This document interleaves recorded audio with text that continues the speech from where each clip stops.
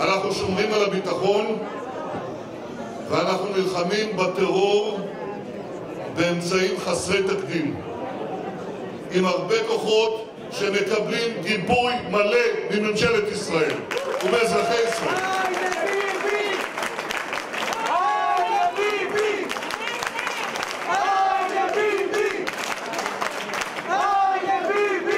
אנחנו נכנסים למקומות שלא פעלנו בהם ואנחנו שומרים על עיקרון פשוט צה"ל נכנס לכל מקום שצריך להיכנס אליו כדי להילחם בטרור.